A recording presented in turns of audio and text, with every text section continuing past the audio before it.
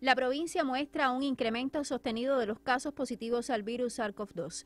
Durante los últimos 15 días, el acumulado que registra la provincia supera los 5.474 diagnósticos del nuevo coronavirus. Está clara la contagiosidad de la cepa Omicron que circula en el territorio con una rápida propagación en toda la geografía cienfueguera. tenemos que cuidarnos el doble hora, pero hay mucha gente que no tiene percepción de, riesgo. En el pueblo usted lo ve sin asobuco y, y no se cuida.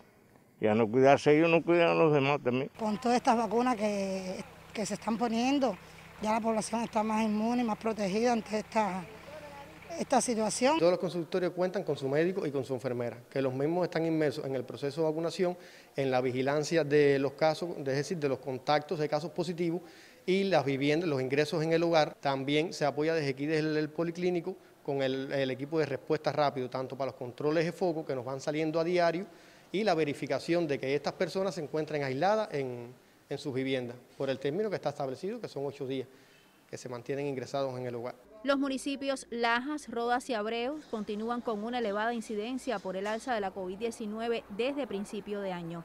Un total de 1.058 pacientes activos hoy tiene la provincia, que reporta dos casos graves y ningún crítico ni fallecido a causa de la enfermedad. Ante las alertas que impone la situación epidemiológica, es necesaria la responsabilidad ciudadana para frenar la propagación de la COVID-19. Desde Cienfuegos, Mayelín del Sol, Sistema Informativo de la Televisión Cubana.